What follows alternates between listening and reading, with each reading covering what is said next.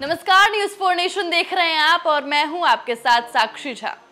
जहाँ एक तरफ़ बीपीएससी से चयनित शिक्षक खुश नज़र आ रहे हैं और बता दें कि दो तारीख को उन्हें नियुक्ति पत्र भी सौंपा जाना है तो वहीं दूसरी तरफ़ जो है नए शिक्षक जिनकी बहाली की गई है, उनके लिए मुश्किलें बढ़ सकती है। आपको बता दें कि लोग ये सोचते हैं कि उन्हें नौकरी मिल जाए और उनके घर के पास में ही जो है, उनकी पोस्टिंग की जाए। लेकिन जो बीपीएससी के द्वारा नए शिक्षक बहाली की गई है, उनके लिए मुश्किलें बढ़ सकती है। क्या है पूरी खबर? आइए आपको बताएँगे इस वीडियो में। बिहार लोक सेवा आयोग, यानी कि बीपीएससी की परीक्षा में सफल हुए शिक्षक अभ्यर्थियों को शहरों के बजाय गाँव के स्कूलों में नियुक्ति में प्राथमिकता दी जाएगी।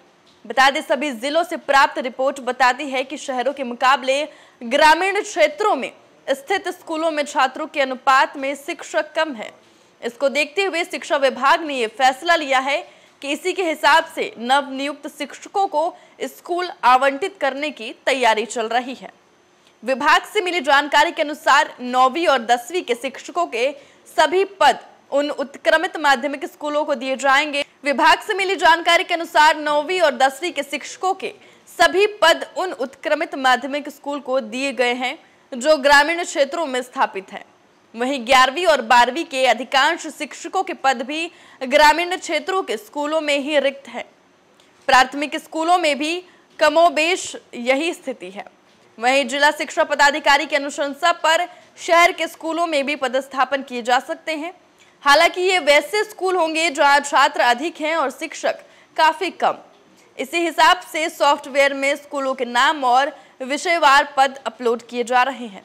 शिक्षकों के नाम भी इसमें दर्ज किए जाएँगे। बताते चले कि सॉफ्टवेयर के माध्यम से ही शिक्षकों को स्कूल आवंटित किया जाएगा।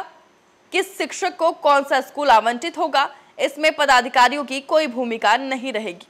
इन स्कूलों में एक भी शिक्षक नहीं है, वहाँ पर सबसे पहले सॉफ्टवेयर पदस्थापन करेंगे। बताते चले कि बीपीएससी से चयनित शिक्षकों की ट्रेनिंग 4 नवंबर से शुरू होगी। इसके लिए 15 दिनों का प्रशिक्षण मॉड्यूल राज्य शिक्षा शोध एवं प्रशिक्षण परिषद द्वारा तैयार किया गया है। इसका प्रशिक्षण राज्य के 77 शिक्षक प्रशिक्षण संस्थान, यानी कि S C E R T DIET CET PTEC में होगा। इस संबंध में शिक्षा विभाग के अपर मुख्य सचिव के के पाठक ने सभी जिलाधिकारियों को दिशा निर्देश जारी कर दिया है। तो जहाँ एक तरफ़ शिक्षकों में बीपीएससी पास करने की खुशी है तो वहीं दूसरी तरफ़ नए जो शिक्षक बहाल किए गए हैं, उनमें थोड़ी उनको मुश्किल हो सकती है क्योंकि जो है उन्हें ग्रामीण इलाका दिया जाएगा और उनकी जो पोस्टिंग है वो गाँव में किया जा सकता है क्योंकि शिक्षकों की कमी की वजह से शिक्षा विभाग ने ये बड़ा कदम उठाया है और जो गाँव है, उन्हें भी शिक्षा के स्तर को बढ़ाने के लिए जो है, ये बड़ा कदम उठाया है और जिसकी वजह से जो है बीपीएससी के नए नियुक्त शिक्षकों के लिए परेशानी बढ़ सकती है। आपकी इस वीडियो पर क्या राय है, हमारे कमेंट बॉक्स में ज़रूर बताएँ और ऐसी ही तमाम खबरों से अपडेट रहने के लिए देखते रहें। News for nation